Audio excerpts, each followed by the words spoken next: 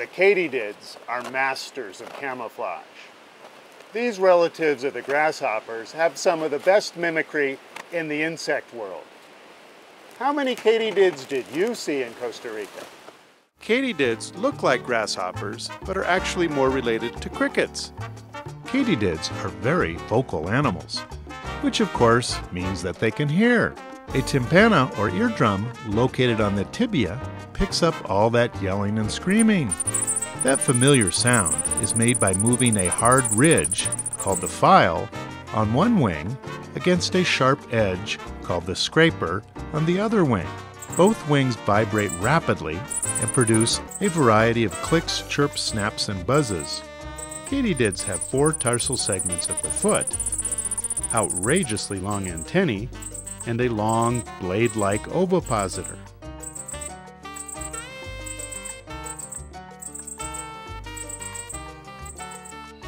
Katydids go through incomplete metamorphosis, and after each molt, they are bigger and a little different looking.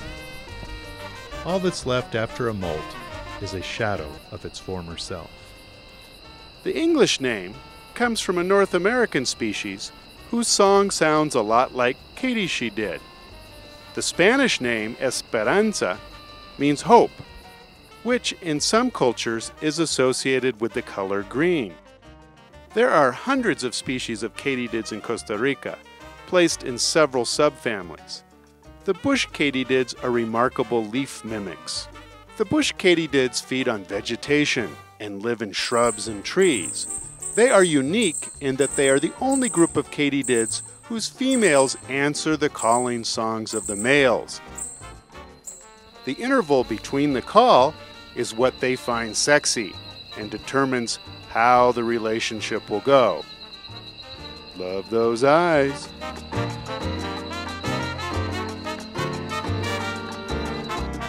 One of their characteristics is that when their wings are folded, the tips of the hind wing project further than the forewing. The bush katydids don't do whips, leather, nor neck spines. Many in this group are fantastically colored and adorned with spines to camouflage themselves among mosses and lichens. Surely these spines help for defense as well.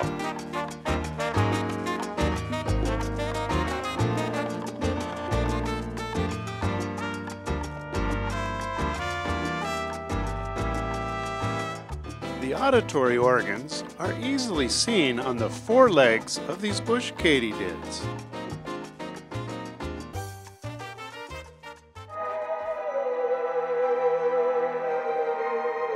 The coneheads are known for the spike or protuberance between the eyes. As with all the katydids, the females have an egg-laying organ called an ovipositor that can be stuck into rotting logs, between bark, or in the ground to lay her eggs. She has a great pair of antennae, which are useful for feeling around at night. Despite all the body armor, katydids are common food for all sorts of animals bats, birds, monkeys, coatimundis, snakes, and lizards. The coneheads have their first two femurs with non-movable spines. The coneheads have powerful jaws for seed eating, or in some cases, predation. Most katydids feed on plants, like leaves, buds, and flowers, but some just love raw meat.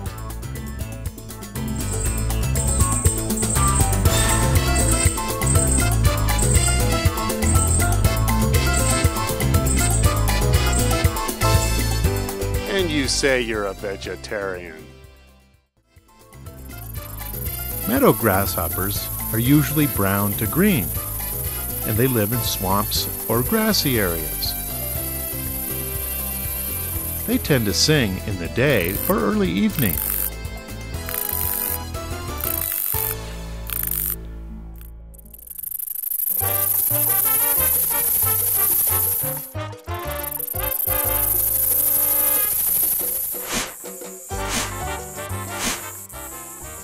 The subfamily of conehead and meadow katydids have a large, oval, and partially hidden thoracic spiracle, and no dorsal apical spine on the front tibia.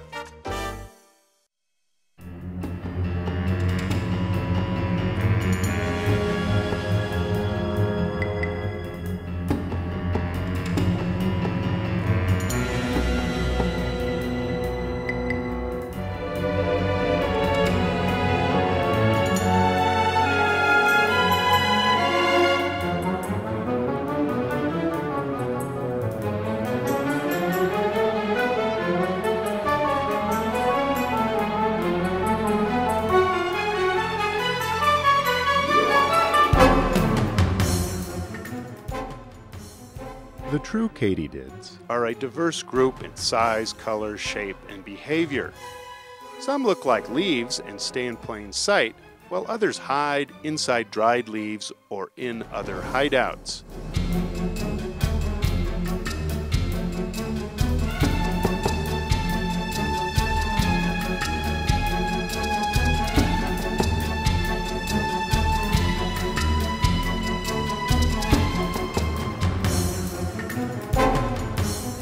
They all seem to have this clean foot fetish. Now that's a clean tarsi. Many in this group flash their wings open to scare you away, which works pretty well when you're up close.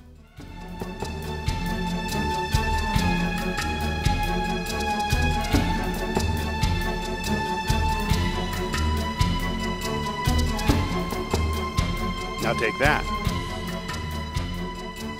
All katydids have long, long antennae with 30 or more segments that are very sensitive to touch.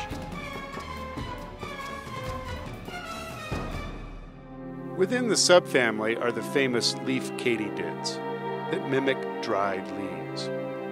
Apparently, there's incredible variation within the species, some looking like dried leaves, down to the last detail.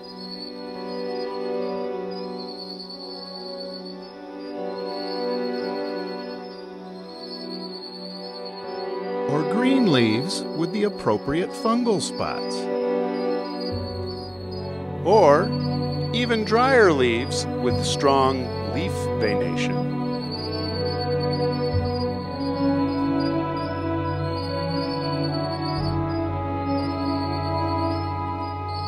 And then there's one that looks dried, yellowed, and damaged by leaf cutters. This is definitely high end camo.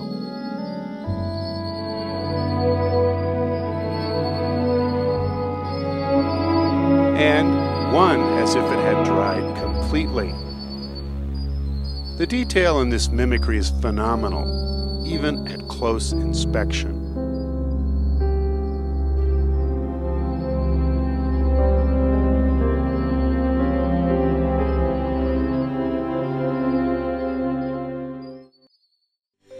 Katydids may make up 60% of the insects consumed by insectivorous bats.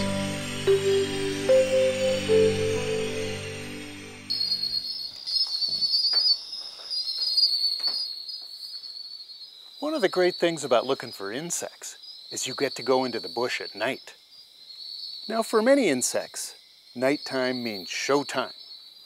And some of the most famous and best singers are the katydids. And of course you can't go inside until you've heard the fat katydid sing.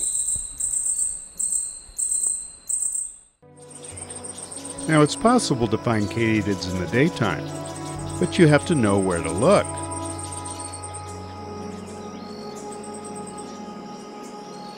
Another related group are the long-wing leaf katydids.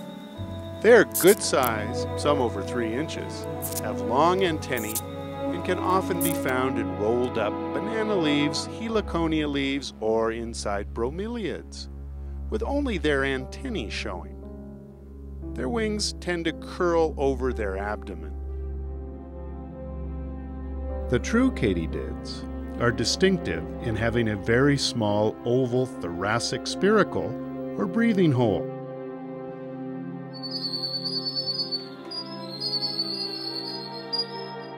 Many predaceous katydids are active predators of other insects, while other species feed on plant matter and dead insects. When you catch one of these, watch your fingers. This famous Mormon cricket of the western United States is in the subfamily of the predaceous katydids. One main feature of this group of katydids is the presence of one or more spines on the upper side of the fore tibia. Katydids are a big part of the food chain. To survive, they have green camouflage, others bail out just in time, a kick with a spiny leg may make the difference, and there's the let's get out of Dodge tactic. Others look like moss or lichen and can kick ass too. Some use a softer call where bats are a major predator. One Costa Rican katydid hangs around Polistes wasp nests for protection against the birds. And then others just run off hysterically.